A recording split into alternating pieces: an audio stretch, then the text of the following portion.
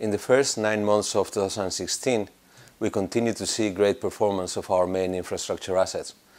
The 407 ETR is posting record traffic and uh, EBITDA, helped by the strong uh, economy in the region and also boosted by the extension to the east of the city. Uh, also, the dividend went up by more than 10%, the quarterly dividend, on a year-on-year comparison.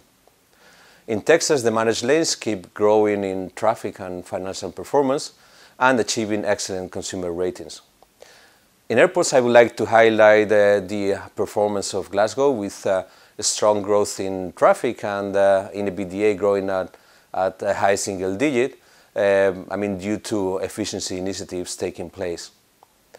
In services, we are um, seeing a good performance in Australia, ahead of our expectations. Um, in Spain, we are maintaining profitability. But in the U.K., we're seeing strong headwinds that come from a reduction in uh, work orders in the highway sector.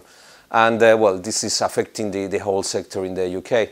Um, what Amey is doing is also taking some uh, cost reduction initiatives with um, our restructuring plan, where we spent 15 million pounds, and we managed to reduce 128 FTEs.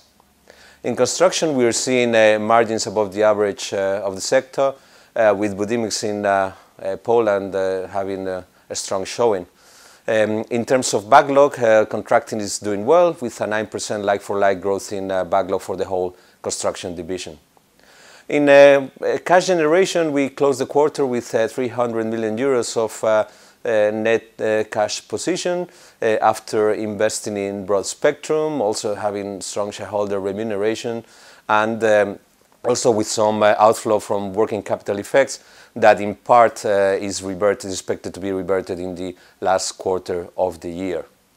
Also, from a financing point of view, we launched um, a Euro corporate bond between five and six years with a coupon of 0.375% that reflects the low rate environment and the low rate environment that helps uh, valuation of our long duration assets, assets that at the same time uh, keep outperforming.